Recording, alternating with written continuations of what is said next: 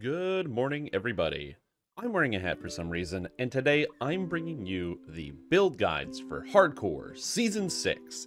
Now, Hardcore Season 6 is just a week away, and I have six builds today just for you to make sure you make it through Hardcore every single time, depending on exactly what you want to play. Now, important note, all the builds I'm showing you today are free, absolutely free. Zero dollars for all of these builds. You can get out and play them right away if you like. I want to make sure that people that are getting started soon, maybe they've never played the game before and they just want to try it out, or they're looking for something, this should be very helpful for many of you. But don't worry, just because they're free to play does not mean they're bad. In fact, I'm going to be releasing tomorrow another video, which is going to be featuring pay to play builds, which are just builds that have features that you have to pay for or unlock as you play the game. But they're not better. Um, in fact, some of them are kind of worse, but they're very interesting, so it should be fun. But either way, if that excites you, um, you got six builds here for you today. We're going to be going over them. And of course, as always, if you're not sure what you're looking for, just kind of skim around. There's going to be time codes and stuff, so you should e easily be able to find what you need. So, Hardcore League, you need survivability, you need damage, you need a way to help out your team, and that's why all of these builds here are designed specifically for those functions. And starting off, we're going to work with Barbarian Druid. Now, Druid is always going to be good for Hardcore League. Bears are fantastic. They have a ton of health. Uh, they do a ton of damage. Uh, that's pretty much all you need. Sure, they don't deal with traps too well, but it turns out that if you just have so much health and you reduce damage by a huge amount, you don't really care about that. However, we're going to be mixing in a little bit of Barbarian as well, two Barbarian here, with the sole purpose of getting a couple extra special abilities from Barbarian to make you even tankier. So, this is a half-orc character. The first time I think I've actually ever used a half-orc for a uh, um, hardcore build guide with tons of strength, and we're going to be maxing out the strength. As far as the level up process goes, you start out with some druid right away. This gives you the bear form really quickly, and on top of that, gets you access to the natural fighting feat line. Natural fighting allows you to strike through while you're in bear form, which basically means whenever you attack, you hit two targets instead of one. And as you get more of these feats, then all of a sudden you start hitting three targets. So your attacks just kind of cleave through all the monsters in front of you. So that's very important. So once you pick up some of those abilities, then you get a couple uh, specific uh, bear-focused or druid-focused things like Quicken Spell, which allows you to cast spells even faster, and you get improved critical with slashing weapons because this character is generally going to use them. Now this means you don't have to be picky about the weapons you use at all. You can use falchions, great swords, great axes, all of them work. The only thing you need to know is that this character is designed to use two-handed weapons and not a sword and shield. Um, if you want to use a sword and shield, Hardcore Season 5, I posted a build guide for a Gnome Bear Druid um, that uses shields. This one is a two-handed fighter, and it just smashes people. But you can't, the only two-handed weapon you get proficiency with until you take a level of Barbarian is Quarterstaff. So you basically just run around with a Quarterstaff, smashing stuff until you hit level 4, and then you can use any weapon you want in the entire game. And that's basically the gist of it. The epic feats are all correlated along being tanky and giving yourself some extra damage.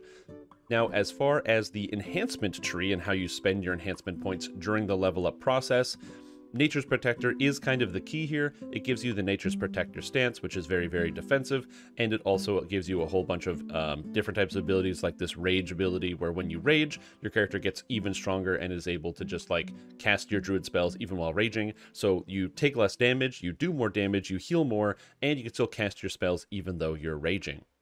On top of that, you also want to make sure out of the Barbarian tree, we're going into Frenzied Berserker. Once you get the opportunity to unlock Frenzied Berserker by taking some levels of Barbarian, this ability, Blood Tribute, is kind of the most important thing. Um, basically what it does is whenever you press this button, you gain temporary health for one minute, um, and temporary hit points are kind of like a shield, so you gain like some protective effect on top of your character. 150 temporary hit points is absolutely huge. Consider that at the beginning of the game, monsters hit you for 5 to 10 damage. So if you have this maxed out, that's like saying, okay, I'm mitigating about, you know, 20 to 30 hits from monsters just by pressing this button. Now, the penalty is that it costs you one point of constitution, but you start with 16, and your character's a bear, which gives you more constitution, um, and you're going to be getting more constitution as you level up. So you don't have to worry about this at all. You can just press press Blood Tribute, and it basically makes you immune during the entire leveling process. pretty much everything else in here, like extra constitution while raging, um, or, you know, uh, the entire wolf tree. This stuff from the wolf just gives you additional damage as well as some extra defense from abilities like flight, which gives you dodge, and some double strike, as well as things like being immune to knockdown because you're in animal form. Overall, this character is extremely defensive um, and offensive at the same time, and I am just noticing I did make an error in this build. I forgot this ability here, which is hilarious, so I'm going to actually make sure that's posted in there when I'm when I'm done. Um, but Savage Roar. This is one of the kind of the key things about Bear Druid, and this is one of the things you want to make sure you get as soon as possible. What this does is uh, you have this ability, Bloody Claws. So whenever you cast the Maul spell, and we'll talk about spells in a minute, but Druids get special animal form spells, and the Maul spell is a attack that only works well in bear form, and it does some damage, it's not a big deal. But what matters is you get this stack of Killer Instinct. So every time you use it, you get a stack of Killer Instinct, this claw appears on your screen, and when you have three of them, it's plus three damage per hit, which is not bad. But you can cash out those stacks by casting the Roar spell, where your Druid will roar, and it stuns all nearby targets. Um, this is kind of the bread and butter of Druid, um, where basically you just kind of press a single key and then your character just roars and everything in the room is stunned. And you can probably understand that stunning everything around you is really, really useful, especially on a difficulty where if you die once, it's game over. So, incredibly useful, very easy to do. You just run around pressing Maul all the time and then stun people. So, overall, pretty straightforward enhancement tree. The general path you want to follow is to work your way up Nature's Protector to get the Savage Roar stuff. Avoid the raging for the first little bit, um, because you can't cast spells while raging. You do want to be able to heal yourself, but work your way up Nature's Protector to get yourself access to Savage Roar, as well as the Enchanted Defense stuff here for Nature's Defense as a huge defensive boost. Then, once you have Barbarian, work your way up Frenzied Berserker to get access to the um, Blood Tribute effect here. And then once you have access to Blood Tribute, then maybe grab some Ravager and the Hardy Rages for the extra Constitution. Get the extra Rages you from uh, here, so you want to grab the extra Rages and the Power Rage to get up to um, Blood Tribute. So you have all these extra Rages, then start taking the Rage effects. The reason why you want to delay it is in the other levels, you only get two of these and they don't last very long. So if you put your points in here, let's just say you want to heal yourself, you can't cast spells while raging, so you have to turn off your rage, then you have to heal yourself, then you have to re-rage, well now you're out of rages, so you have to heal yourself again, you're completely out. But once you take the Barbarian, you take the extra rages, you get the extra Constitution while raging, not only does rage make you more defensive, because rage will now give you 7 points of Constitution, which is a ton of extra health, and more uses of Blood Tribute, but also, um, you'll have like 8 of them. So but even if you don't have the ability to cast spells while raging, if you need to cast spells, you can just turn off your rage, cast your heals, and then turn your rage back on, and you're not going to run out. So keep that in mind. The Nature's Warrior tree is mostly damage, um, so I would recommend probably putting points into here later than the other trees. As far as the epic destinies go, um, this character is super straightforward. You just go Fury of the Wild. You take pretty much everything in here that's going to add you some extra defense and a little bit of damage, and your character becomes super duper tanky. On the side, uh, on the side of that, you also grab uh, Legendary Dreadnought for some extra health as well as some extra defense, and you also go Primal Avatar to get access to this ability, Reborn in the Fire and Spring to Summer. Now, you're not going to be using Spring to Summer, just Reborn in the Fire, but basically it's a button that you can press in epics that heals you and your allies for a huge amount, and you can press this all the time. So that's kind of the whole the whole deal. It basically gives you a free AoE heal. So if you are going to be going all the way up to level 30 or 32 now, um, that will be a massive benefit to your total party because you can cast all this stuff while raging because it counts as druid spells. Um, so hopefully that hasn't been too overwhelming. As far as like what type of items you should need, you're a strength-based character, so you need like strength items, you need constitution items, and that sort of thing. Um, you're also looking for anything that gives you uh, health or uh, armor class, physical or magical resistance rating, um, saving throws, things that will keep you defensive. Uh, you don't really have to worry about skill points or anything. Uh, wisdom is okay. You do need to get some wisdom to be able to cast a higher level of druid spells, but that's about it. And then as far as, speaking of druid spells, as far as they go, um, I have the listing here to try to kind of go through some of it. A lot of these are defensive buffs. Most of the attacks that you actually need, you get very early. So Maul, which then turns into Great Maul, higher level as Druid. Um, Roar, as I said, which you get at level 3. And then, of course, Shred here, which goes with Maul. These are just attacks that do a bunch of damage. You want to have these. Everything else in this list is something like Magic Fang, a buff that increases your damage. Ram's Might, a buff that increases your damage. So both very good. Cure wounds that heals you. Cure serious wounds that heals you more. Cure critical wounds. It heals you even more. So a lot of healing spells. Now, the rest of them are just good defensive spells. Freedom of movement, so you can't be locked up by webs or magical holds or things like that. Um, Death Ward, which means that monsters can't instant kill you. Very, very good for Hardcore League, as it turns out. Um, and then more stuff as you get higher level. The only real important thing you need to note is that once you get access to level 9 spells, Regenerate Mass is one of the best heals in the whole game, um, and you'll want to just use this one all the time. Don't use Regenerate uh, once you have Regenerate Mass, because for 10 more spell points, it just heals everyone around you and and you for only 10 more points. And for some reason, Regenerate Mass casts faster, so it's even better. Um, so that's kind of a interesting little quirk there. Anyways, that is Barbarian Druid, and it should be very, very powerful for Hardcore League. This character does a lot of damage with the two-handed weapon and will be able to slam your way through your enemy's defenses very quickly. Now, maybe Barbarian isn't your chosen path and you'd like to play a wizard, and specifically, maybe even a wizard that deals with traps. Now, this league, I didn't put specifically a rogue. I think rogues, especially pure rogues, are really hard to play on Hardcore League. They are squishy, uh, you need too many stats because you want to like dual wield and also have intelligence, and if you're playing free to play, you can't get intelligence to damage, and, but if you're playing as a range character, maybe it works, but then you need to multi-class. It's like a whole thing. So this uh, season's rogue is a pale master. So it's going to be a, uh, a rogue that is also a wizard. Now, this is my character, so this is what I'm going to be running. I'll be playing a free-to-play character alongside many of you, so if you want to see the character that I'm going to be running on the first day of Hardcore, uh, in which me and some of my friends are going to be going from 1 to 20 on the first day, um, pushing it as fast as we can, then this is what I'm going to be doing, so it should work. It's a dwarf because dwarves get extra health and constitution, and we go with 18 constitution and 18 intelligence with 10 strength just to help with alleviating carrying gear. Um, if you get overloaded, you have a reduced, uh, or your carrying capacity, you have reduced armor class, and you move slower.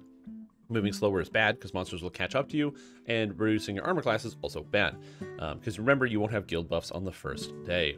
Now, as far as the actual leveling process goes, I'm starting with a level of Wizard um, here because it gives you access to Sonic Blast. On top of that, it also gives you access to a robe um, that gives you plus one caster level on all of your first level spells. So it might seem weird not to start with Rogue at level one, but by starting with Wizard, I get access to Sonic Blast and the, um, like I said, that robe and that robe is very, very good because uh, it means that even though I'm down one level of wizard, I still count basically as second level wizard, third level wizard, fourth level wizard when I have that level because I have the robe that gives me the plus one. So it might seem very strange.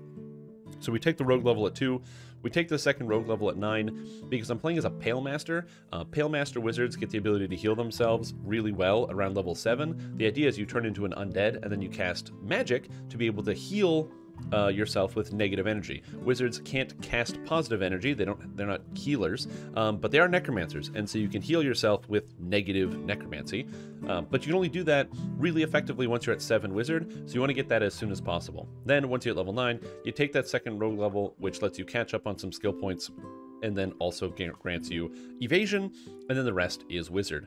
As far as the actual spells go, or feats. We're taking Quicken and Maximize. You do get some spell-like abilities you're going to use on this character, as well as the Necromancy Focus abilities. Uh, this character is only going to be using Necromancy Focus during the level-up process. Now, granted, there are a lot of abilities that, or a, lot of spells that use uh, Evocation and other things, and maybe you're worried about your spells not landing, but in that regard, you kind of just use volume during the leveling process. The, the key to your spells not landing is kind of just using volume and casting more of them. Your character also gets mental toughness and improved mental toughness and lots of actual toughness, so you have more health. Health is very important to this character build. As we move further into epics, you're going to be taking things that keep you alive, so Epic Spell Focus Necromancy for, for, more Necromancy DCs to combine with the Enchantment Focus, which gives you all the enchantment bonuses as well, so you can be kind of like a Necromancer Enchanter, holding your allies in place and blowing them up with Necromantic magic. And on top of that, you pick up some extra tanky stuff. Things that give you more resistance to damage. So it makes your character really, really strong. You also grab Extend Spell here a little bit earlier. You don't want to cast Extend Spell on all of your abilities, basically just the Death Aura spell, and maybe if you have access to Displacement or other good defensive effects that last a very short amount of time. This just saves you more spell points because those spells cost a lot, and they you can get an additional 10 points to double the duration, which uh, is going to save you spell points in the long run. Now, I do just want to mention the skills. I'm not really going to talk about it too much for a lot of these builds, but this one, uh, basically, search is important, open lock is important, disable device is important. These are your rogue skills. There's no spot in this build. Um, the main reason for this is that it's very difficult to fit a spot in because of how many skill points you actually get as a wizard leveling up. If you want to have spot instead of one of these other things, drop open lock so you won't be able to pick locks, you won't be able to open doors, but you can carry the knock spell to try to get some of them, and you can have spot maxed out to maybe detect some of the traps. The problem is with a wisdom starting of 8, you probably won't be able to spot most of the traps anyway, which is one of the reasons why I don't have it here. Uh, so you will be blindly walking into traps. You may want to look up quest guides as you're going through, especially on Hardcore League, if you don't know where the traps are. Now let's move on to the enhancement tree. It's pretty straightforward. Um, this character is using the Pale Master tree for the most part. You're going to be picking up Shroud of the Lich because it reduces the damage you take from magic and makes you tankier and gives you more intelligence. It's just a good thing. It also makes you heal more. You're going to pick up all the self-healing abilities. You're going to be picking all the negative energy critical effects. You grab the Skeleton Knight because a lot of the pets that you can summon in Dungeons & Dragons Online are not very good. And Skeleton Knight is very good. It says Skeleton Knight is a very strong fighter, and that is absolutely correct. Put three points into this right away. That's the first thing you should do. You're level one wizard don't know where to put your points in. One point in Pale Master and three points into Skeleton Knight. Summon this bad boy and just let it solo quests for you. Maybe grab a hireling, like one of the level one or two barbarian hirelings. Summon the two of those guys, and they will clear every quest for you on Elite while you walk around picking up items out of chests and that sort of thing and just keeping yourself alive. Now, when it comes to actually becoming a Pale Master, remember when I said that Pale Masters heal around level 7, um, or like 7 Wizard, which means for this character level 8?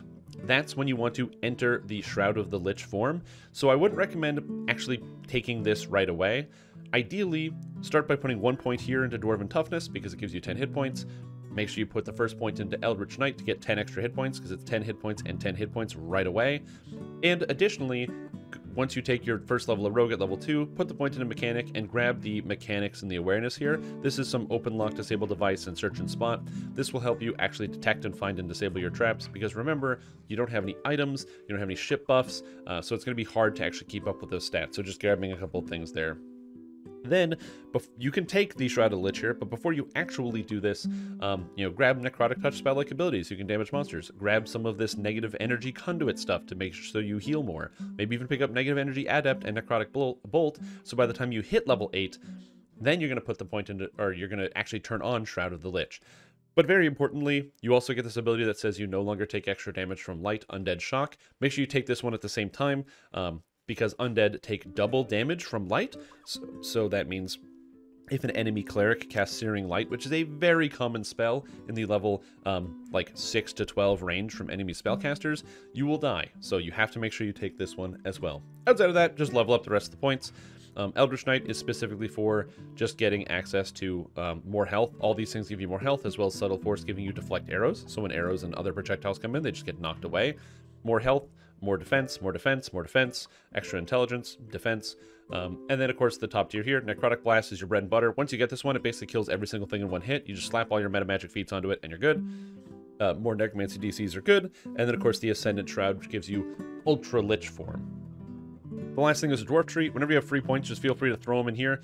Constitution, Health, Constitution, Health is very good. And this is 5% extra health, so your character becomes very, very tanky in comparison to your friends, which is one of the reasons why we picked Dwarf.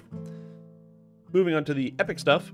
Um, this might be a little bit far for some people, but basically, Magus of the Eclipse is my option for this tree. The main reason why you want to use Magus of the Eclipse is because um, Frostlight is actually quite strong. The amount of damage it does is very good, as well as getting access to Null Magic Strike, which means that every time you affect a monster with any spells or effects, uh, it has a chance of stripping their ability to cast spells for 30 seconds.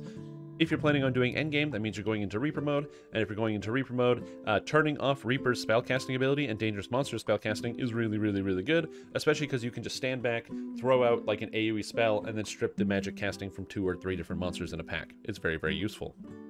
On top of that, you also get a lot of defenses because this makes you take less damage from cold. So your character takes less damage from cold and lightning and light damage, all of which is very good. Plus you can cast the fire shield spell on top of that for less fire damage. So you're basically almost like immune to elemental damage.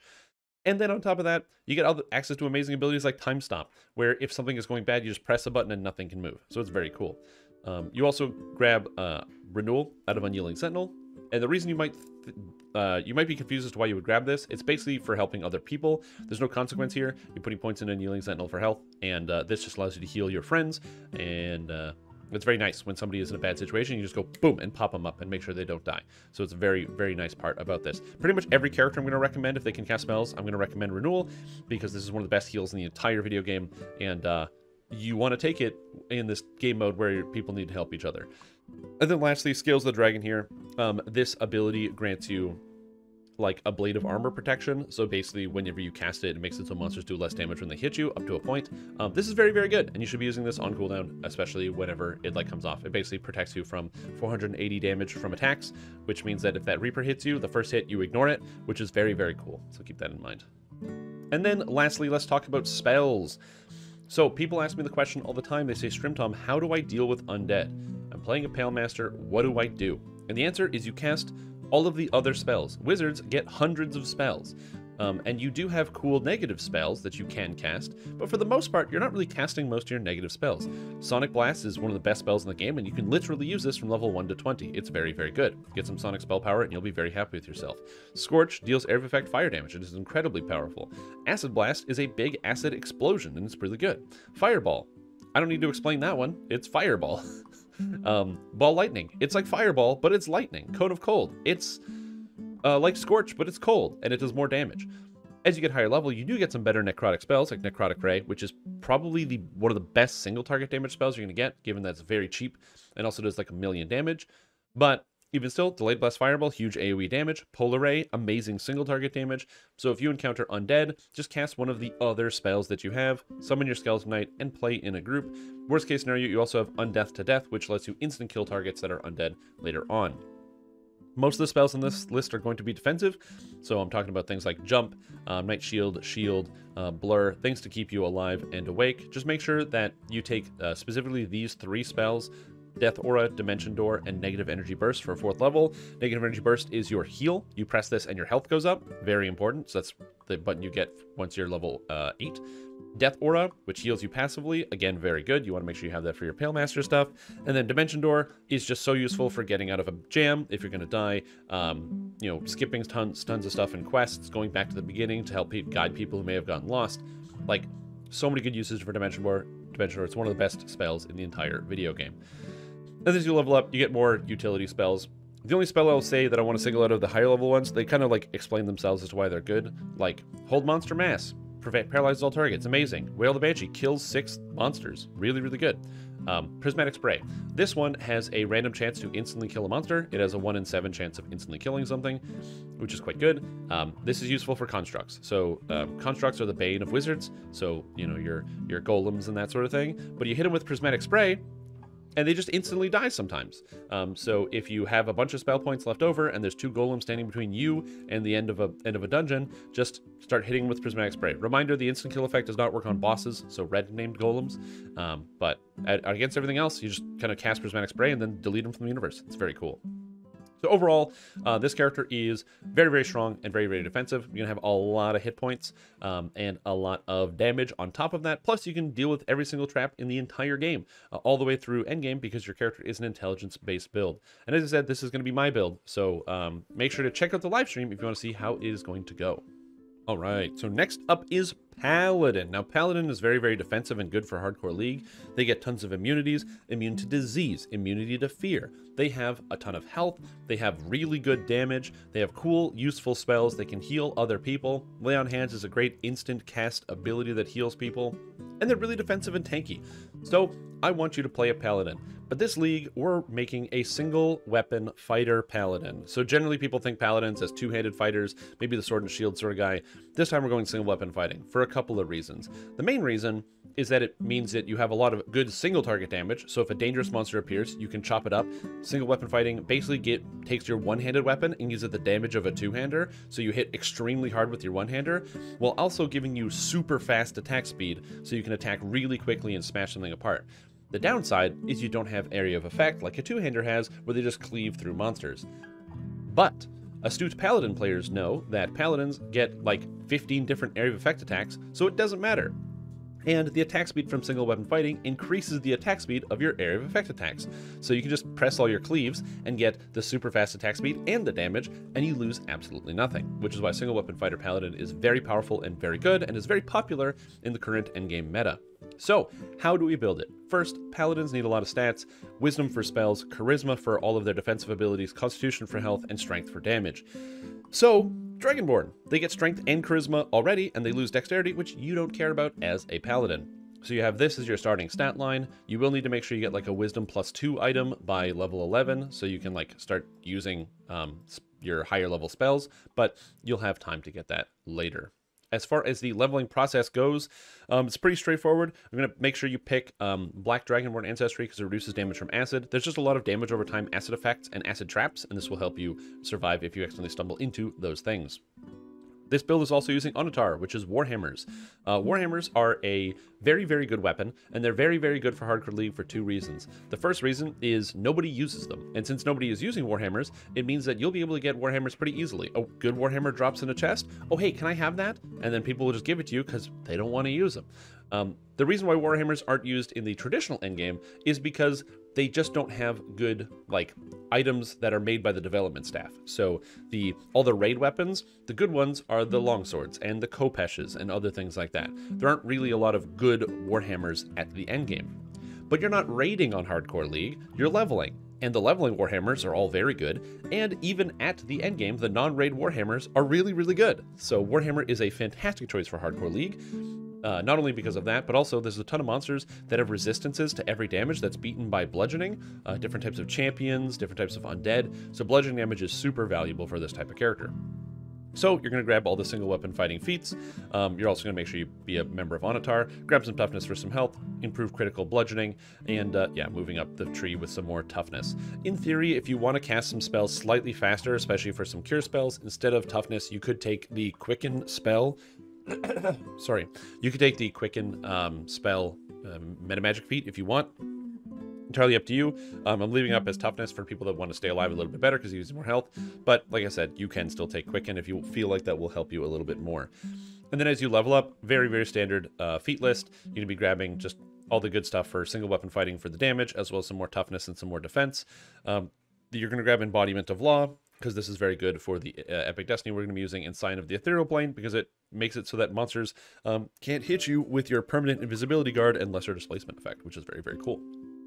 But that's some later down the road stuff. Oh, as far as skills go, um, you don't have a lot of skill points because your intelligence is low. So you use balance, which you need to take for uh, single weapon fighting. So don't, if you're going to change something, don't change this. And use magic device, which will allow you with your charisma, because your character is going to get some charisma items and be able to pump up your charisma later in the game. Um, this will allow you to uh, use all sorts of different utility items like uh, healing effects, like heal scrolls. Um, you know, uh, uh, why am I not thinking about this? Protect magical protection effects like stone skin, shield wands. Uh, you'll be able to use effects such as greater heroism to buff up your characters. Use magic device, very very useful on a paladin. And all these other stats, they kind of don't matter. Don't worry about that. So next is the enhancement tree. What do your enhancement tree look like? Well, this character generally is going to be a Knight of the Chalice. However, you're also going to be using the Sacred Defender tree and the Dragonborn tree.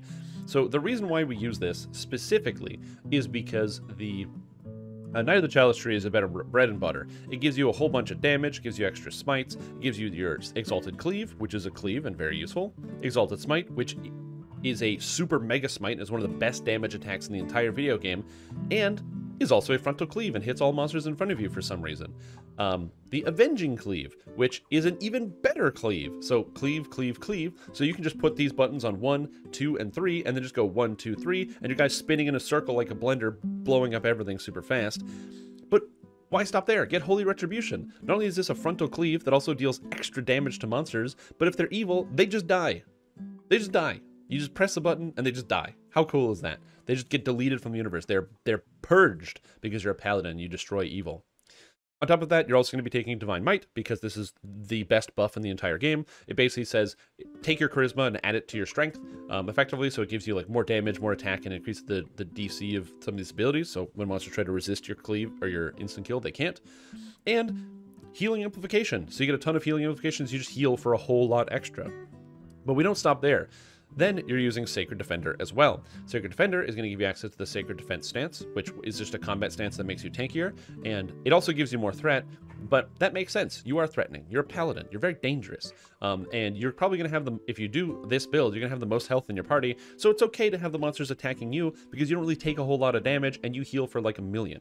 You're also going to be grabbing the extra um, physical magical resistance rating here and other buffs onto the Sacred Defense and the extra lay on hands. Um, this is probably one of the things I would go for first. I would probably go Slayer of Evil and grab the extra smites, and then grab the Holy Bastion and then the extra lay on hands right away. And in fact, actually, once I do that, I would also say grab Durable Defense and then pick up Sacred Defense, and then you can kind of spend more points in the Knight of the Chalice tree to pick up some of these cool things like Exalted Cleave and the other effects here. The last place you should spend points is Dragonborn. This is just the extra. Um, do this absolutely last.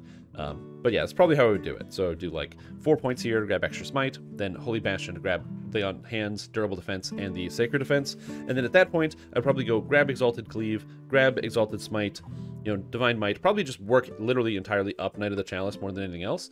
Um, and then, uh, or actually, that's not true. Um, that's not true. I would do this, get up the Exalted Smite, then after you have Exalted Smite, move up. I did this in the wrong order. You should grab Tenacious Defense first, and then, uh, so grab Tenacious Defense right here instead. I did that wrong. I'm not going to redo it here, though. I'll do it after the video's over.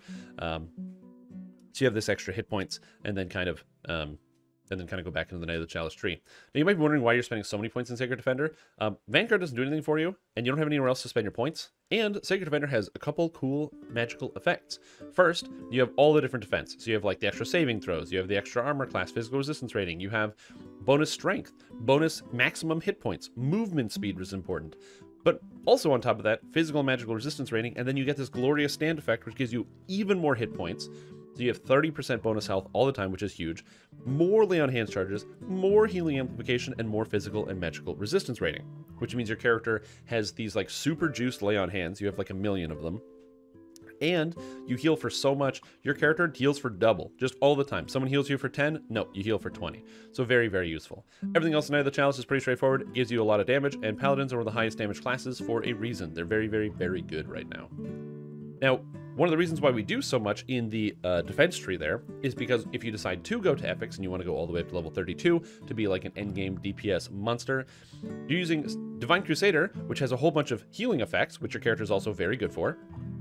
Picking up, you know, extra defense, um, these extra smiting abilities. Whenever you use your smite evil, evil uh, your or your, your smite evil, not only does it AOE and kill everybody, it also now heals all your allies, making it just the best button on the keyboard. You get this crusade or consecration ability, which heals you and all your allies as long as you're standing in this big circle. So again, more healing and AoE that's going out. And on top of that, your consecration is also a stun. So when you consecrate, all the monsters nearby you get stunned because they cower before your incredible might. You have a bunch of extra defenses coming from your Divine Crusader stuff, and you have this Law of the Divine, which makes it so you do a ton of extra damage just for free. Now the second place where you spend your points is the Unyielding Sentinel. There's a couple reasons for this. One, it gives you a ton of tankiness and makes your character super durable. So you're going to have thousands upon thousands of hit points once you hit the maximum level, which makes you really, really durable. But on top of that, you get Renewal, which is one of the best healing spells in the entire game for your character. And Unyielding Sentinel has a lot of melee stuff. Um, so not only do you get melee power, which increases your damage when you attack monsters, but also you get stuff like Into the Fray. When you walk into combat and start meleeing monsters, you get a massive defense and damage buff for a short duration. That's pretty good. Now, not this, while this is the tank tree, a lot of tanks don't use this. You will use this because you're not a tank. You're just killing people and you're tanky. On top of that, you also get this ability, Last Hope. Amazing for Hardcore League. When you drop below 20%, you gain a massive amount of physical and magical resistance rating, and melee power for killing people, and the game starts healing you back up to full. And because you have so much healing amplification, um, this healing effect is absolutely huge, and so you literally hit full health once you hit 20%. Now, of course, this only goes off once every 5 minutes, but hopefully you're not putting yourself in life or death situations every 5 minutes.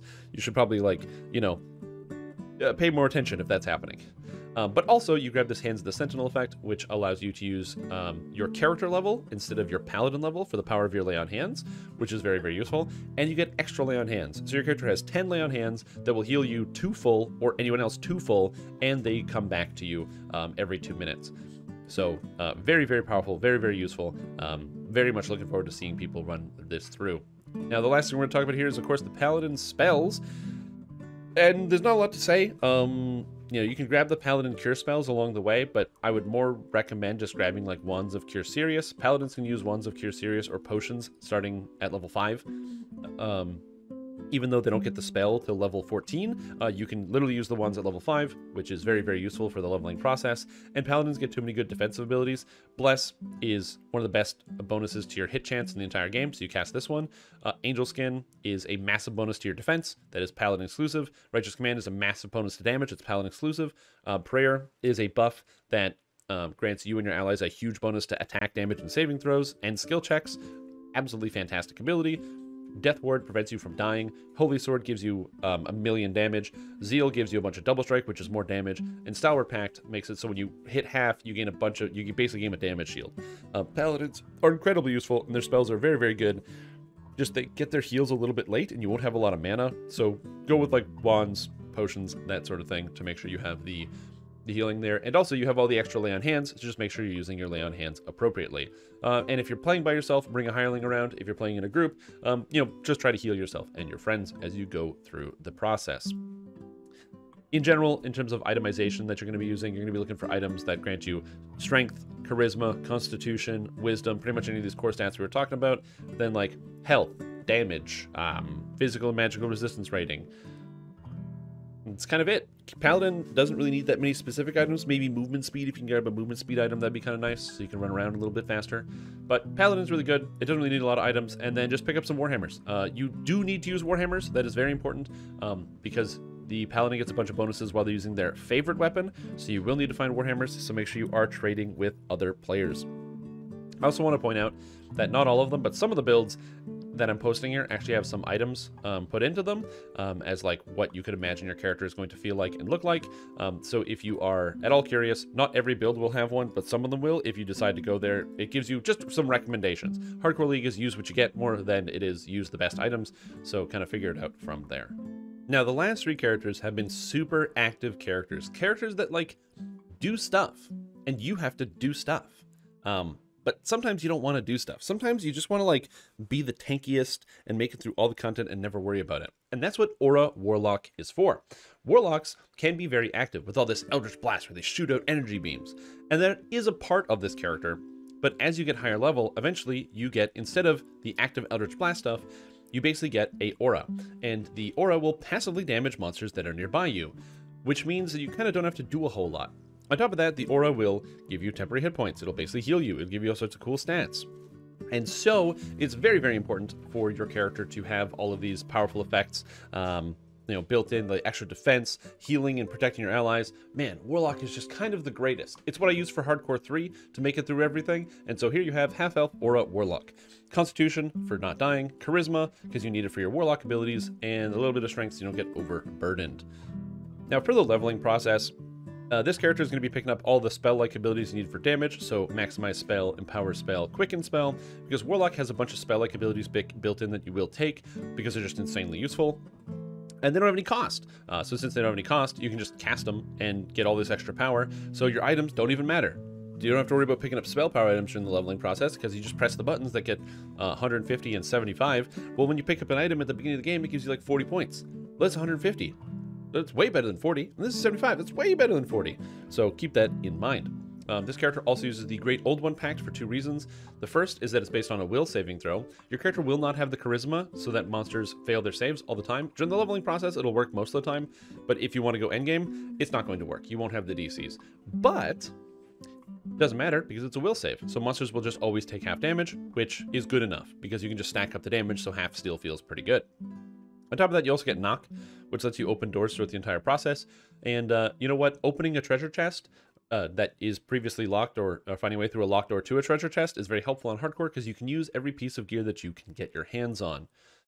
On top of that, you take Force Personality to get your will saves based off of your Charisma instead of your Wisdom, which is obviously good when you're a Charisma-based character, and you grab a lot of Toughness along the way to make sure you don't die. So Toughness, Toughness, Toughness.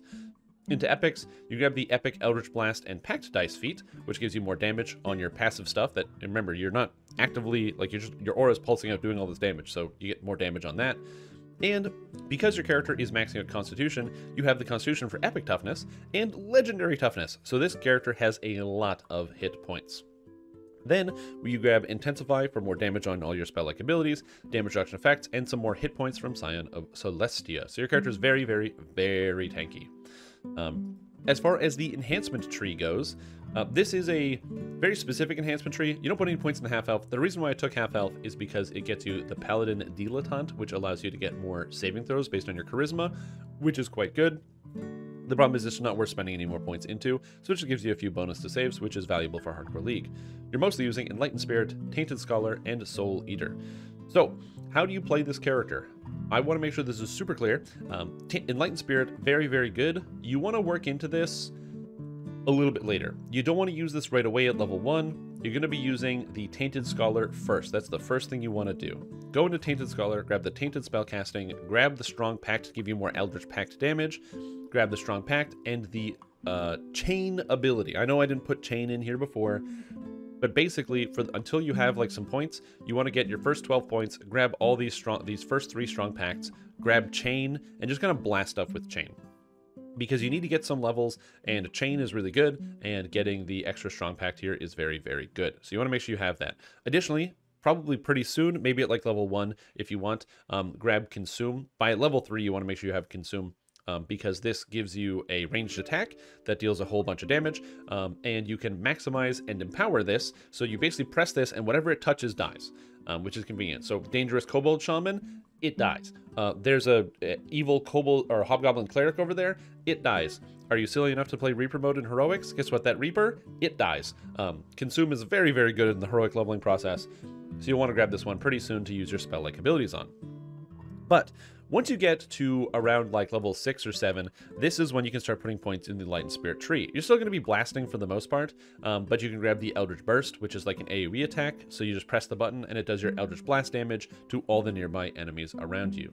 Um, and as you continue to level up, by around like level, uh, I'm going to say 8 or 9, you're still spending points largely in Tainted Scholar, getting all the damage out of here, but it's level 12 where you want to kind of re rejig a few things. Most importantly, you want to be going pretty much all into Enlightened Spirit, filling out basically as many points as you can in here, because the Enlightened Spirit tree is absolutely insane because it gives you the aura, which is a passive aura that damages enemies that are nearby you, and all of these buffs. Extra hit points and physical resistance rating, um, you know, or hit points, armor class, physical resistance rating, magical resistance rating. It grants you extra damage on everything you do. It gives you free temporary hit points. So the Eldritch Aura, very, very good. Um, you can swap into it sooner. If you want, you can swap into it as soon as level 6 um, and just grab some of the extra damage on here. Um, but I usually wouldn't. I'd recommend waiting a little bit. However, one thing I don't recommend waiting on is Resist Energies. This ability costs 60 spell points, and it gives you resistance to all of the elements. It's so good! it reduces the damage you take by a huge amount. So if you, let's just say you're level 6, you put points into Tainted Spellcasting, and you grab some of this other stuff here, you grab some of the Strong Pact, and you have Chain, you've got the uh, Inhuman Understanding and Consume, and then you have points up into Resist Energies, so that's 6 points, 12 points, and, or I guess 13 points, and 3 points, that is less than 24, which is how many you'd have at 6, um, you have pretty much an unstoppable character. You're almost immune to elemental damage, you do a bunch of damage with Eldritch Blast, and you have Consume. So the only thing you have to worry about is getting hit by monsters, which you're a ranged character, so just walk backwards and blast them. And then, as I said, move into the Enlightened Spirit. Um, once you have access to Eldritch Burst and Spirit Blast, the game is now going to be on super easy mode. Um, you will just walk through quests, go up to a monster, Eldritch Burst, Spirit Blast, with all your meta magics uh, put on them to deal a million damage, and everything will die, and then move on to the next room.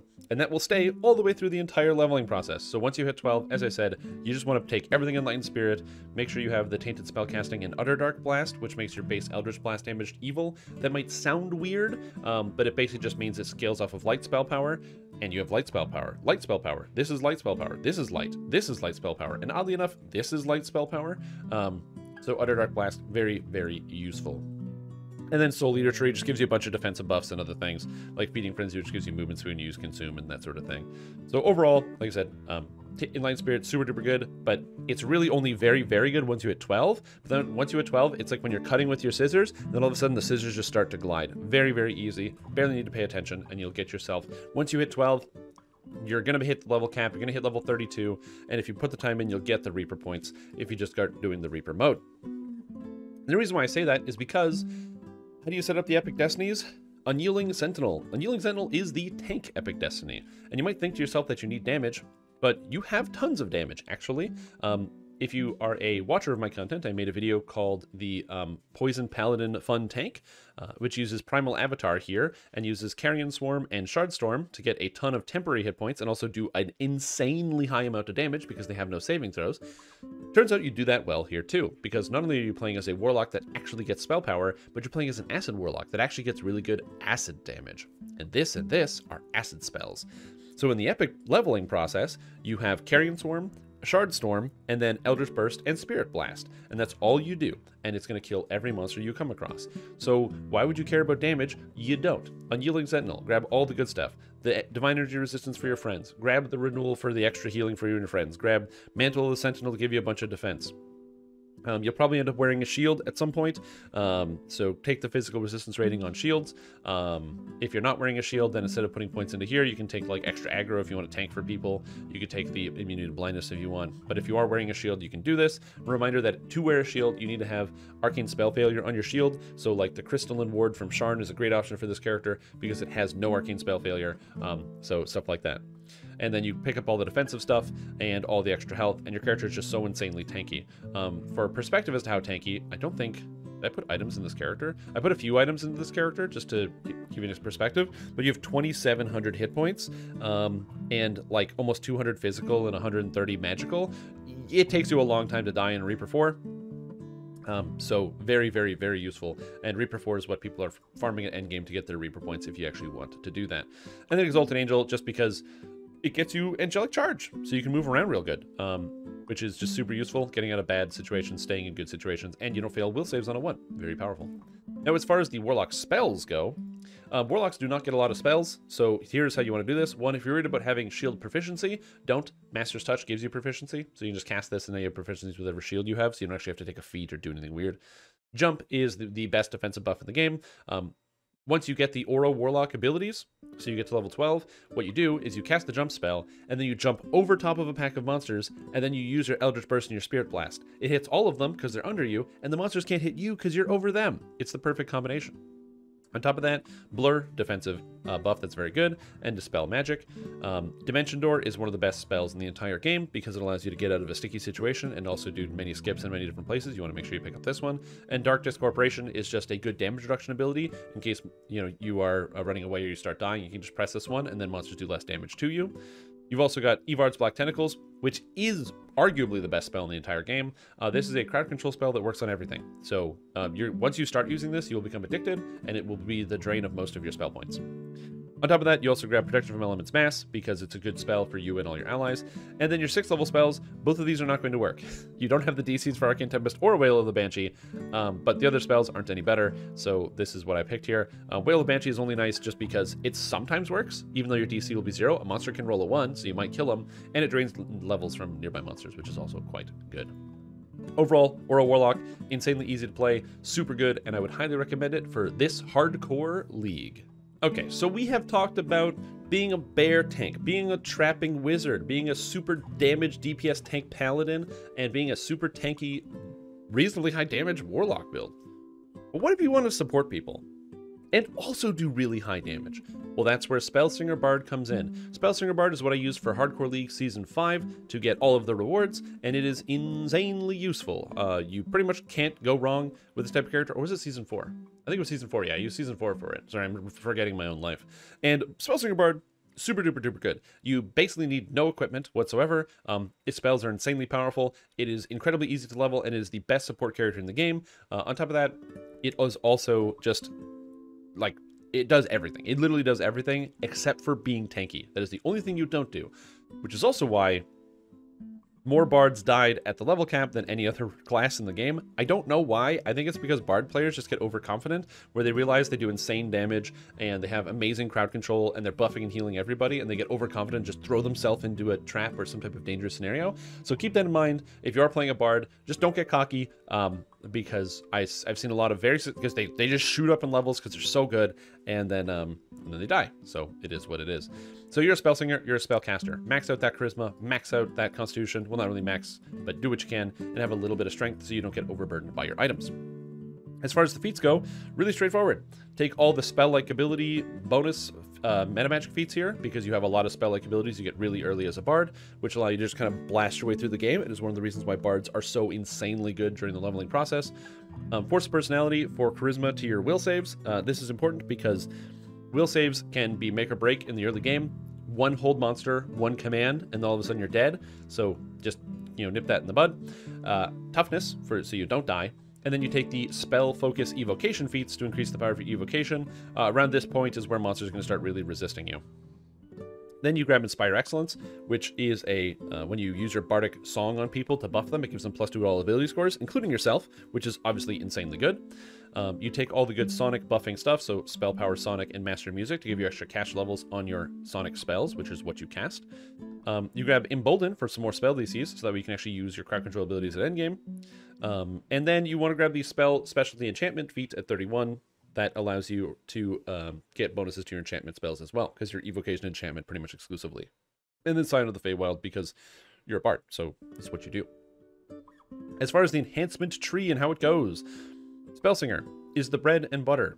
Um, if you uh, have never played a Spellsinger before, you might not understand the power of Sonic Blast. Sonic Blast is the first spell you take at level 1, and Sonic Blast is also the first spell-like ability you get here. You can't lose with Sonic Blast. Uh, take Spellsinger, max Sonic Blast right away, and apply Maximize to this. And then, every time you level up, this is going to be doing progressively more damage, and it's going to be really, really crazy. Keep putting points into Spellsinger, and get Shout, and max this one. With Shout and Sonic Blast maxed out, which you'll be able to do by, like, level 3 or 4, every room you walk in, you press shout, all the kobolds you're going to fight are dead. All the brigands you're going to fight are dead. Everybody dies. And then if they're still alive, you sonic blast them, and then that's it. And you move on to the next room. Then you grab the Spell Song Trance, which is really good, and you want to keep rushing Spellsinger and don't hit any points anywhere else. Rush Spellsinger until you get Sustaining, Song, and Frolic. Um, the main reason, you can also get our Song of Arcane Might as well, but Sustaining Song and Frolic. Sustaining Song makes it so that when you use your Inspire ability, because bards have two uh, songs, they have their direct single target song, which is their Inspire, where they sing it and it gives people skill points. Or they have the Aura, which is just a passive effect that gives people buffs, which is buffed by the War Chanter tree. Now, the passive effect is kind of nice but it's the Inspire that matters. Once you get to level or spell song Trance, when you Inspire, it reduces people's spell cost by 10% and also increases your spell DC by 1, which is obviously incredibly good for you as a bard who casts spells and your allies who cast spells. So you want to use your Inspire on everyone in the party at the beginning of a dungeon. But then you get Sustaining Song, this is a passive heal effect and is one of the best passive heals in the entire video game. It just makes it so people are constantly healing as long as they have your Bard Song. And Bard Songs last for like 10 minutes, so it might seem a little bit tedious to cast your Inspire on all of your friends at the beginning of every dungeon, but this ability is so good that if you have a bard at the level cap on Hardcore League, they can just use its sustaining song on the party and then AFK at the start because they've already they're going to heal more than anyone else. This ability is really really really good. Frolic, on the other hand, is similar, it's freedom of movement. This means that everybody affected by your Bard Song is immune to web, they're immune to hold monster, they're immune to command, they're immune to all slows in the entire game. Unbelievably good. You want to get this stuff right away, right away, right away, right away. Now, once you have this, you're probably going to be concerned about your actual hit point total because you kind of don't want to die. So this is where you want to start putting points into the War Chanter tree. Go into the War Chanter tree, pick up the armor class and physical resistance rating to give yourself some health.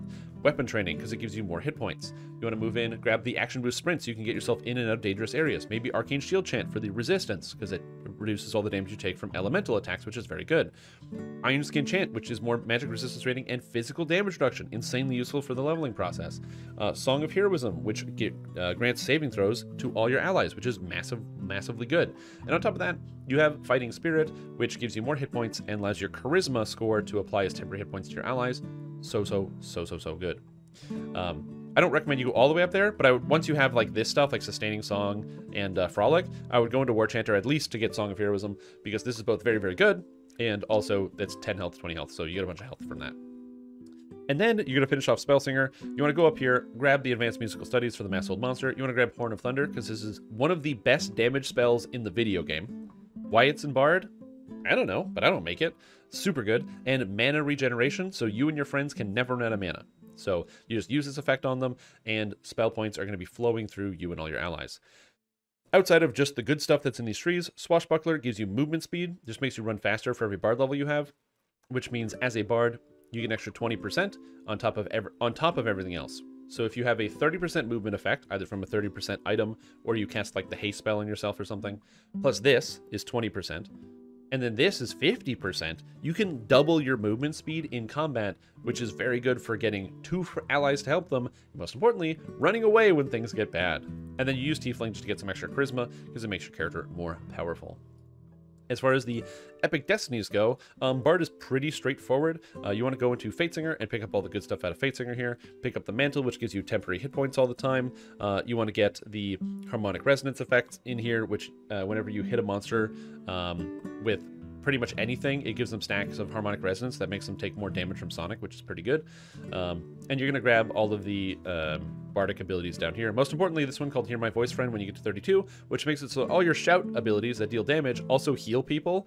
Um, this ability is broken. It is so good. Um, it's so good that I have a character built around this that is not a bard that I'm going to show you later. Um, and you grab pretty much all the good stuff. The only thing you'll notice is I didn't take the Epic Strikes. The main reason I didn't take the Epic Strikes here is because um, Dragon Breath is really, really good, especially Blue Dragon Breath, because your character does get um, lightning uh, stuff anyway with Horn of Thunder, so you get some lightning spell power in here. Very, very powerful. Um, and with all your meta magic abilities, this is going to be better than having epic the epic strikes here because in hardcore league, you want to kill the monsters really quick. You don't want them to like incrementally do damage. You just want to press this button and oh, a Reaper is running at me. Blue Dragon Breath, it's gone. Like it's not like you do like a damage and you're casting three spells to kill it. No, no, you just want to kill it. you don't want it. You, you don't want it to hit you once or twice. You want to get rid of that right away. And then Scales the Dragon, as I've said in previous characters, this gives you a Blade of Armor. So it's you cast this and it gives you a 480 point shield. Uh, so whenever a monster attacks you, uh, the first 480 points of damage come out of that before your health points. And you can do this every 30 seconds. So insanely useful on top of making you take half from electric. Very good. And then Unyielding Sentinel because that's 35 hit points. That's 35 hit points. And this is Renewal, the best heal in the game. So pretty useful. As far as spells go, Bards are really easy. Um, here's the general rule of thumb. Take Sonic Blast at level 1, always. Take every heal first. So, you know, when you get to, like, um, when you get to level 4 and you unlock second level spells, get Cure Moderate Wounds and another spell. I would recommend Cure Moderate Wounds and Soundburst. When you get to level 7, take Cure Serious Wounds and Good Hope, because it's a very useful spell. It's like a really insanely good buff for you and all your friends. When you get to level 10, you unlock 4th level spells. Take Cure Critical Wounds and Shout or Dimension Door or Otto Sphere of Dancing. When you get to level 5, take Cure Light Wounds Mass and Greater Heroism. 6, take Greater uh, or Cure Water Wounds Mass and Greater Shout. So you want to take the Cure spell and something else. You get two whenever you hit those levels. So that's why 4, 7, 10, 13, 16. Um, always just take the Cure one plus one of the other ones. And the other ones I would recommend first, um, as I said, Sonic Blast, insanely useful. Uh, Soundburst, insanely useful. It's an AoE damage spell that stuns. I mean, come on. Um, Good Hope, unbelievably powerful ability. Um, Shout, because it does a huge amount of damage. Greater Heroism, because it's the best, one of the best buffs in the entire game. Um, and then Greater Shout, because it's even better. It's like Shout, but it does more damage and it stuns. Wow, what an amazing effect. As far as items go, Charisma effects, health effects, sonic damage. Once you get past level 12, electric damage is also nice. Um, physical resistance rating, magical resistance rating, things that boost up your saving throws. All that stuff is going to be very good, and you'll have a fantastic time with Spellslinger Bard. Now, but the last thing I want to leave you with, oh my god, voice is raspy, is Bard songs. Casting Bard songs can be very tough um, because people rush around and they want to do stuff. Important note, if somebody is running ahead of you when you're playing this character and they don't want to wait for your Bard songs, it's Hardcore League. Let them die like don't chase them through traps or anything else. Make sure you are buffing the people who are waiting for you. And if somebody runs ahead and throws himself into a dangerous situation before you can buff them, don't like chase them down to buff them. Like if you catch up, then sure, buff them and do whatever. But if somebody's just sprinting away from you, um, don't like run after them through a gauntlet of bad enemies or things just because you want to make sure they get their buffs. It is not your responsibility if they die. It is their responsibility if they die. And that is what gets some bards killed, where they will chase after somebody um, because they, they want to make sure they get all their buffs on everyone. So don't don't do that. If somebody runs away, let them die. That's natural selection right there, okay? And number two, um, you want to make sure to make your bard song using faster. Um, if you start your bard song, so you cast the inspire ability, and then you tumble by holding the block key, which is defaulted to shift, and then moving, so you hold block and press forward, your character will like roll.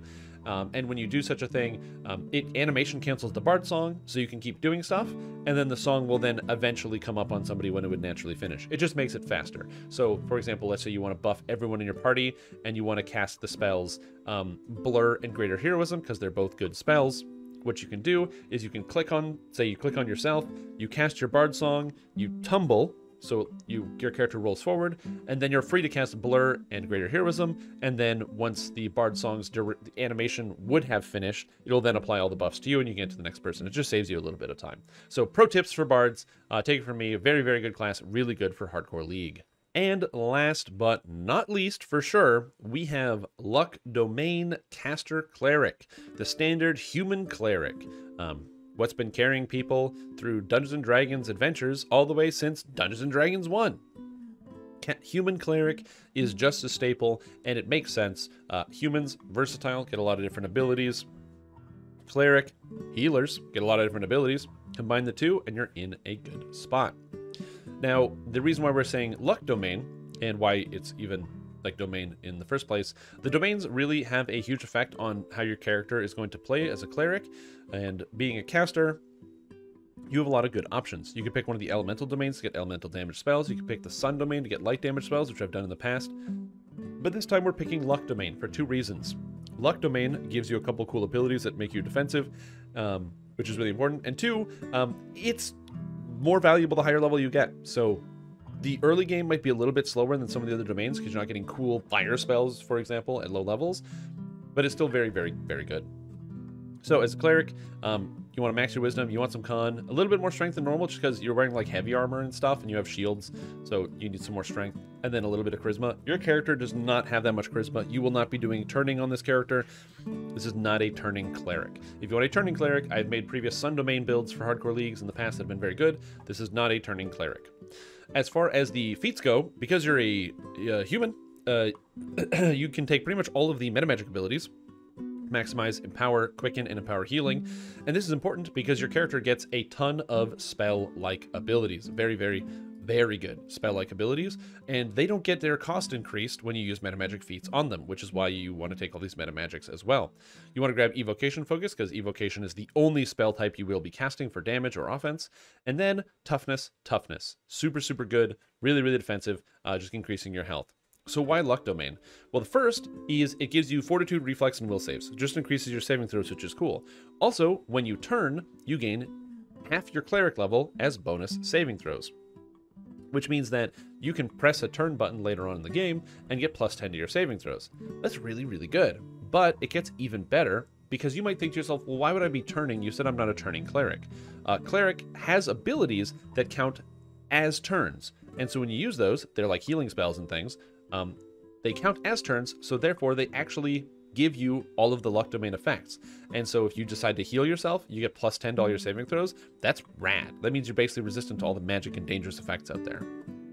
Then we have um, Luck Domain 2. You get spell-like ability Displacement. Displacement is one of the best effects in the entire game at mitigating damage because it makes it so monsters miss you half of the time. Um, you can use this all the time and basically have this up like literally all the time as a cleric. So monsters are missing you. That's 50% damage taken from physical. Unbelievably good. So that's why you want to take this one. Instead of spending uh, spell points on healing yourself, you just don't spend spell points on healing yourself and you have more mana for blowing up enemy monsters. Then you get plus 2 DCs of all your spells, which makes your spells harder to resist for enemies. And finally, you no longer automatically fail your saving throws on a roll of a 1. Uh, I have clips on my channel of me playing, and uh, just I roll a 1 versus Disintegrate, and I instantly died. You roll a one versus a trap and you instantly die, even though you have evasion and high enough saving throws. Um, you know, you have you have like plus 1000 to an ability to one of your saves, but you roll that one and you still die. Not as a luck domain. Ignore that. Runs ones are not automatic fails, which means you won't be failing any of your saving throws going forward. And then as you move into epics, you're taking standard, spellcaster affair, wellspring of power for damage, spell power light for spell damage. Burst of glacial wrath might seem kind of weird, but basically it is a crowd control spell where you shoot at a cone of cold and it freezes all the monsters in front of you. Uh, clerics don't have any good crowd control. And this is pretty much the only one you're going to get, and it is quite, quite good. And then Embolden Spell, Intensify Spell, so more meta magic feats for your, all your spell-like abilities, um, and Spell Power Fire and Scion of Celestia for some extra hit points. Let's move into the um, actual trees. Now you'll notice that um, the cleric I'm only spending in two different trees, Divine Disciple and Radiant Servant. Divine Disciple is very, very good because you get to pick up cool spell-like abilities like Searing Light, giving you a ton of additional damage. It is important to note that you kind of want to get this first. Um, you The first thing you want to rush pretty much in every case is probably going to be rushing Holy Smite spell-like ability. This is one of the best things you can get in the entire game. But the only exception to that is I think you should go for Cure Moderate Wounds as soon as you can. So probably go into Radiant Servant, grab Divine Aid, grab Divine Cleansing, which is the five points, and then take Cure Moderate Wounds spell-like ability by the time you hit level three.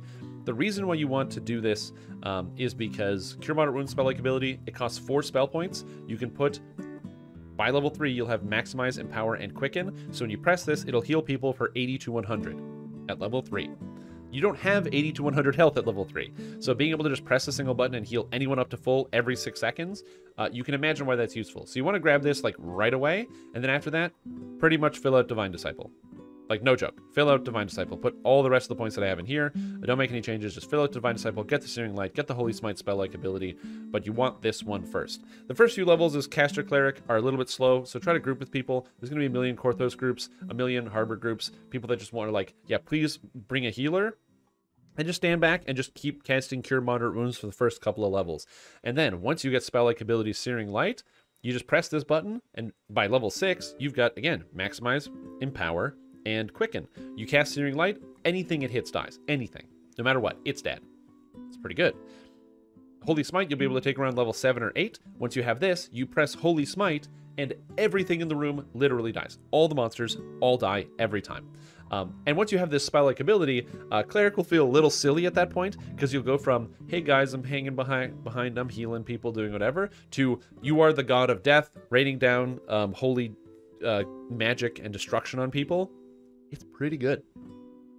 Um, after you have Holy Smite, I would then probably recommend going and picking up Positive Energy Burst as well as Divine Healing. Uh, Divine Healing is you just use like one of your turns and it um, heals people for a bunch of healing over time.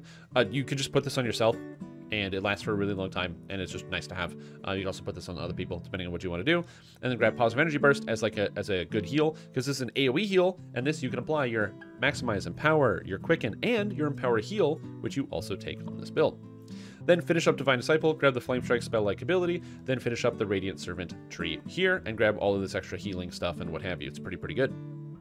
Um, if you want also, um, instead of altruism here, because uh, you have the points, you could take improved turning, which just gives you extra turns if you find you're running low. That is also an option here instead of altruism. I just went for this because it gives heal and positive spell power. So it's basically 13 spell power for three points, which isn't the best conversion, but it's you know, it's not too bad. Uh, you also want to grab the Intense Healing for the positive energy. Increases the maximum cash level of positive energy spells. This is fantastic because um, it works on stuff like Cure Moderate Wounds, so it's increase the power of your Cure Moderate Wounds spell-like ability by a ton. And this also affects the Heal spell, which has a maximum cash level of 15, making your heal even stronger, which is very, very good. Uh, human gives you access to some wisdom, uh, improved recovery for some healing amplification, and don't count me out, which gives you extended unconsciousness range. Uh, this is very good. So instead of dying at minus 10, you die at minus 30, which just gives you a little bit of leeway. And then War Priest is just, you know, you get some extra health. There's really nothing bad here, just get some more hit points. So pretty straightforward tree, and that's kind of how you want to go through it. As far as the epic stuff goes, you want to be an Exalted Angel um, with some Unyielding Sentinel and Draconic Incarnation. Um, the Unyielding Sentinel is just to grab Renewal. Um, Renewal, I've talked about this in every single other build, is basically one of the best heals in the game, and this is 35 health and 35 health. So you get 70 health and one of the best heal spells. I mean, that's easy decision to, for me. Exalted Angel, you want to take this specifically because it buffs up all of your cleric stuff. Um, so you get um, this Sun Pillar ability, which is basically you press this and wherever you target's going to die because of all of your meta magic feats that you apply to it. And if it doesn't die, it's stunned now, which is very, very cool from this effect up here. You have the Angelic Form, which makes it so all of your spells deal additional damage. All your healing spells do additional healing. And you just passively heal people that are around you. Uh, this ability is extremely good. When you're playing on elite mode, it basically means you and your allies can't die that are standing next to you because it heals you for so much. When you're in the upper echelon, the absolute top tier, the highest difficulty in the video game, this effect is not as useful because the healing gets reduced by a lot. Um, but we're playing on Hardcore League. You don't ever go to that highest difficulty because it's literally too hard. People stop at Reaper 4, which is not even halfway to the highest difficulty, so this ability is insanely good. Um, you also pick up Shadows Upon You, which is every time you turn undead. So if you use your positive energy burst, it reduces monster saving throws by 10, or sorry, by 5, which is very useful. And then you grab Holy Fireball, which is one of the best damage spells in the game. You also grab Draconic Incarnation here because it gives you um, Elemental Blood. So whenever you cast a fire spell, um, you get temporary hit points, which is really, really nice. You get some extra bonuses to your saving throws. You get reflex and fortitude saves. So your character has high will, reflex, and fortitude. You don't need the extra point for you don't fail on a one, uh, but it basically means your saves will be really good. And then Scales of the Dragon is good to Blade of Armor that I've talked about in other builds. It's a buff that makes it so you take less damage when monsters hit you, or it, it absorbs armor or damage effectively. It's like a damage shield, so it's very, very powerful. Now, moving on to cleric spells, um, this one's very easy to understand. Basically, take all the cure spells because you're given them for free, so you're always going to have them. Uh, grab damage spells you can pick up. In the early levels, your best damage spell is going to be Soundburst that you get at level 3. So Nimbus of Light's okay, but it's kind of kind of bad. You're mostly going to be like casting Bless and just hitting stuff with whatever you have in your hand. Soundburst is your first damage spell, but again, a lot of the damage spells are going to be a little expensive because you don't have a lot of spell points, and you're going to want to wait for some spell-like abilities until you get to the higher levels. Searing Light is your first, like, pretty good damage spell. It only costs 8. You don't need to put any uh, meta magic feats on the spells that you're casting. Just cast baseline Searing Light. Um, I don't know how I missed it in here. Oh, I know how I missed it in here, um, due to a bug. So, Sunbolt um, is a spell that you're granted automatically uh, for the or not granted. Um, it's a spell that you get um, from the the cleric tree. It's very very good. It's supposed to be down here in the third level, um, so I just want to include it here. Uh, but Sunbolt, you want to take in the third level spells. It's an incredibly powerful damage spell for leveling. But Holy Smite, you want to be taking at level four. Um, again, once you get to level four spells, which is seven, you can kind of just hit Holy Smite spell like ability, and then Holy Smite, and the room is empty, and you're moving on to the next room. Flame Strike, same deal. Does a million damage. Very, very, very good. Comet Fall, does pretty good damage. It's physical, so it's good for beating up golems. But you also get Sunbeam, which is even better for beating up golems, which is very, very good. Then later on, you're going to be picking up Word of Balance. Word of Balance is a better druid spell than it is a cleric spell. I don't love this one, but you can use it. It's good against like demons and stuff. If You play Reaper mode, it's good for Reapers, but instead of that, it's not that great. Um, Firestorm is one of the best fire spells in the game, only beaten out by Celestial Bombardment, the best fire spell in the game. Uh, once you get to level 17, you just take Celestial Bombardment and just press this whenever you can and you see a monster. And then all these pillars of fire come down and you're just like, ha ha ha ha, ha and you just laugh as everything burns before you. Also take protection spells, so, you know, Magic Circle against evil. Pretty good. Prayer, the, one of the best buffs in the entire game because it gives you a bunch of saving throws. Death Ward, immune to negative energy and death effects. I mean, I like being immune to dying. That's pretty cool. Doesn't make you immune to dying, but being instantly killed. Um, what else is good? Heal. You got to take heal. It's the best heal in the whole game. You should probably take it. Um, Holy Aura.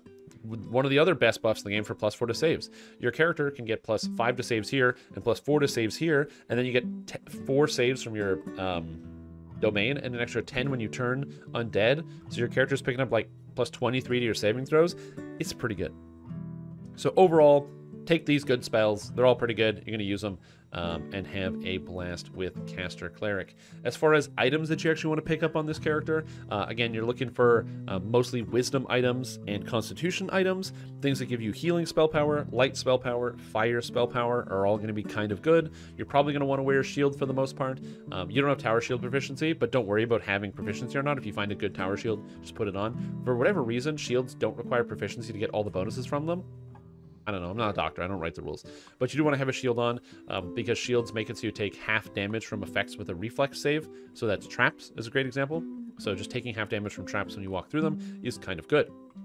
On top of that, uh, you also want to be picking up um, like health items, physical resistance rating items, magic resistance rating items, getting things that give you armor. You want to be wearing heavy armor, shield because you're a cleric, um, and kind of go out there and burn enemies with holy fire. And don't forget to cast displacement basically on cooldown. So every time it comes off, well, not on cooldown, but when it comes off, just cast it again. It costs almost nothing, and you shouldn't have it as a cleric anyway. Um, and it makes your character unbelievably defensive and tanky. Anyways, this has been your free-to-play hardcore build guides for Season 6. If these sound interesting, then feel free to pick one up. As I said, I'm going to be playing the Pale Master Trapper myself, um, so that should be a good time, and I will be streaming uh, for nearly 24 hours straight, going from level 1 to 20 in a single sitting on the first day of Hardcore League, so I hope I do well and I don't die. But uh, we did it last year, so we can do it, our last league, so we can do it this league as well. However, if these builds, say you're somebody who out there and you're like, hey, Strim, I got, like, uh, I'm, a, I'm a bajillionaire. Okay, I got the money. I don't want to play these builds for free to play players. I want the good stuff, you know, the ones that you got to pay a lot of money for. Well, t- stay tuned to next video where I have several builds for you, some of which are good, some of which are very interesting and might make you uh, very excited for this hardcore league. But with that being said, thank you for watching. Good luck, stay alive, and I hope to see you all out there at the level cap, or at least with seeing your goals. I want to see picture pe uh, people taking picture of their cosmetics or their mounts or whatever we're going to be getting. Uh, I want to see all that stuff as soon as possible. So thank you for watching. Enjoy your day, and goodbye. Good luck, hardcore league.